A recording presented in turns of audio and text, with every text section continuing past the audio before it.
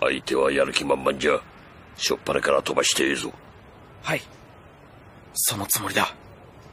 船頭さんがどんな相手とやるのか興味あるし。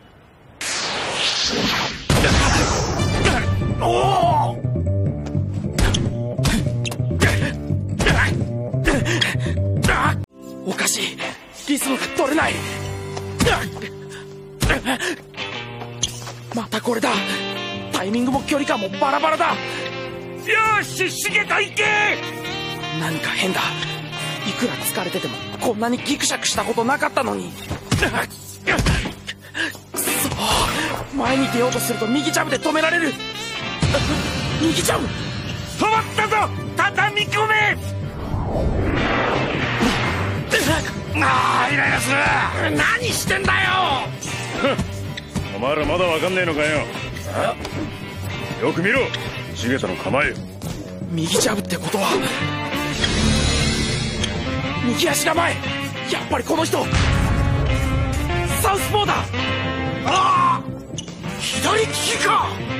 右と左が逆になっただけだがありゃやりづれえんだ。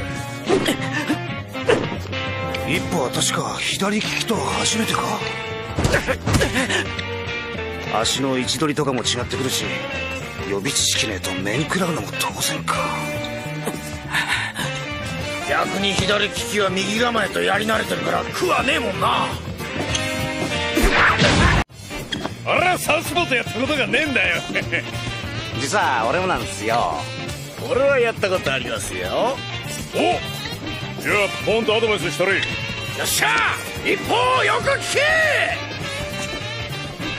どうしたポンと言ったれポンと30秒で負けちまったからよく覚えてないっす何を知るつもりだったんだこのお化け野郎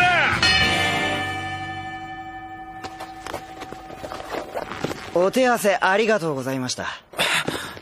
お疲れ様です調子悪かったみたいですね。えいや残念ですよ。今度やるときは本番でお互いベストでやりましょうね。あはいぜひ今度は本番だとよ。もう仙道に勝ったつもりで言いやがる。すっかり自信つけさせちまったな。すいません。でもサウスポーがあんなにやりづらいなんて。貴様は今疲労のピークじゃ。